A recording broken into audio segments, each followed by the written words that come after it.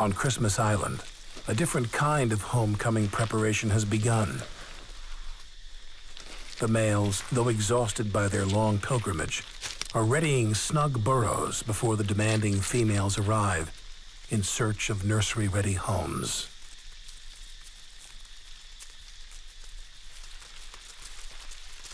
Having dipped in the ocean to renew themselves, the bright red would-be mothers seek out the males.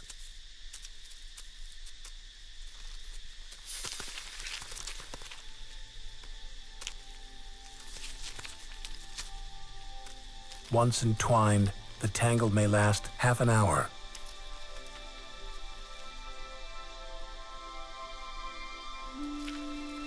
When she's ready, the female disengages and descends into her den.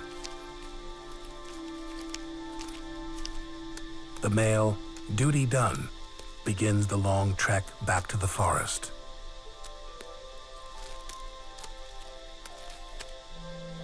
But for the female, the odyssey has just begun.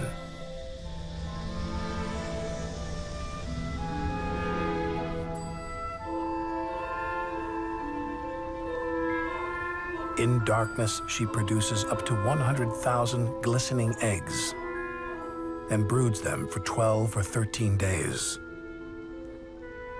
waiting for the cue that drives her entire migration.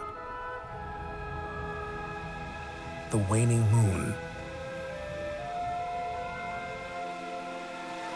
And the resulting mild tides.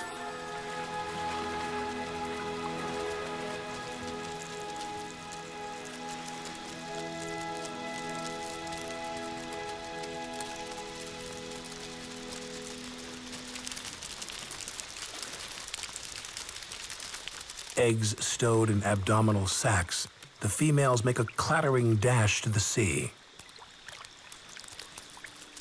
Here, on the moonlit beaches of their own birth, they brace themselves at the water's edge and release their offspring. In an antic dance born of instinct and desperation.